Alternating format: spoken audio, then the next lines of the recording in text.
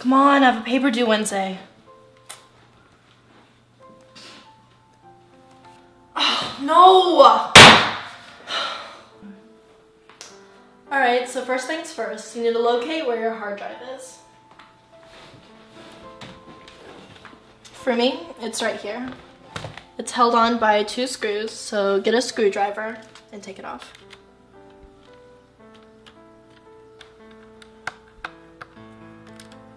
Now you're going to carefully take the hard drive out. Now you're going to remove the casing. There are four screws, two on either side, so remove those. Make sure when you take the last screw out, you hold the hard drive in place so it doesn't hit the table. Now you're going to take off the casing. After you remove the casing, you're going to carefully take off this part.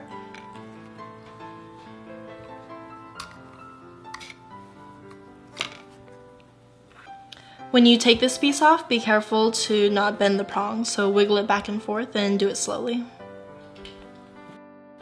Next, you need a SATA IDE USB cable, and you're going to connect that to your hard drive.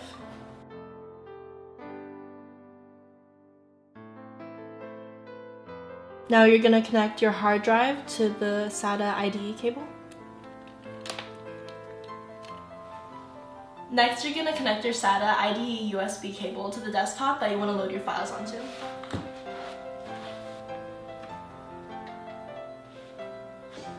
Next, you're going to go to My Computer.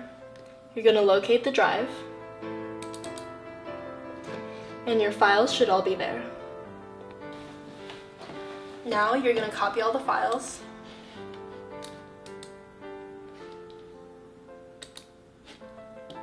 You're going to paste them in the folder you just created. Now you can either burn it onto a CD or put it on a cloud. So if you're ever in a situation like me and have a paper due Wednesday and you need to back your files, hopefully this tutorial helped.